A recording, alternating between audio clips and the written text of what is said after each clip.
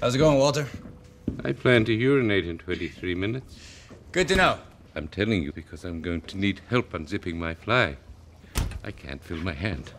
It seems the substance from Pennsylvania is a paralytic.